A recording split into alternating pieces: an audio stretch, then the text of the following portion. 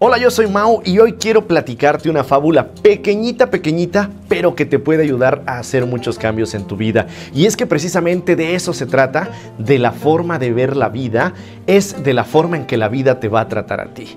Resulta que en cierta ocasión un pequeño perro callejero andaba por ahí paseando y bueno, se encontró con un lugar que era conocido como la Casa de los Espejos. Obviamente el perro pues no sabía leer, no tenía ni idea de lo que ahí pasaba, pero pues ya saben cómo son los perros de curioso y se metió en este lugar. En esa casa había cientos de espejos, tal vez miles, eran muchos, muchos los espejos que había en este lugar. Y el perro temeroso comenzó a acercarse.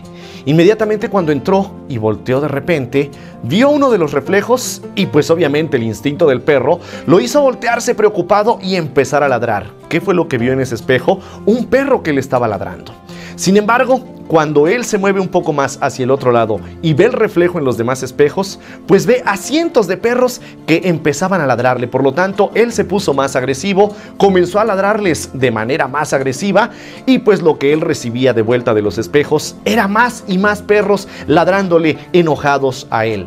Terminó saliendo espantado, huyendo de ese lugar y diciéndose a sí mismo, ¿qué lugar tan horrible? La gente que está ahí, los perros que están ahí, son muy groseros. Qué terrible de verdad. Y se fue.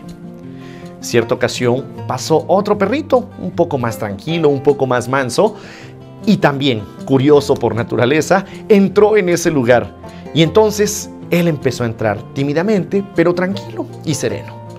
Volteó y vio el primero de sus reflejos y un poco temeroso, pero tranquilo, empezó a mover la cola el espejo, el reflejo, el perro de, eh, que estaba enfrente de él, pues también empezó a moverle la cola de la manera que él lo estaba haciendo. Cuando volteó hacia el otro lado y vio los demás reflejos, vio a cientos de perritos moviéndole la cola de manera amistosa. Entonces el perro cada vez más y más feliz empezó a brincar, empezó a dar de vueltas y lo que él veía ahí era perritos y más perritos dando de vueltas contentos y felices como él lo estaba.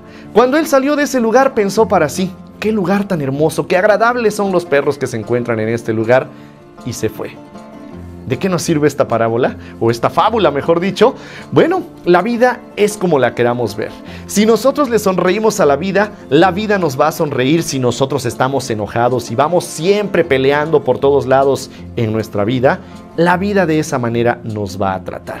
Tenemos que ver todo con el lado positivo. Si bien es cierto que no podemos andar toda la vida sonriendo, lo mejor es que estemos serenos y tranquilos para poder afrontar cada situación como esta se nos presente. Cuando no amerite enojarse, no nos enojemos. Cuando no amerite preocuparse, no nos preocupemos. Sin embargo, tratemos de ir siempre brindando una sonrisa a los demás, porque seguramente eso vamos a recibir de vuelta. Espero que esta reflexión te ayude y te sirva en tu día. Yo soy Mau Vidal y todos los días vas a tener este tipo de reflexiones aquí en Orizaba Online. Muchas gracias.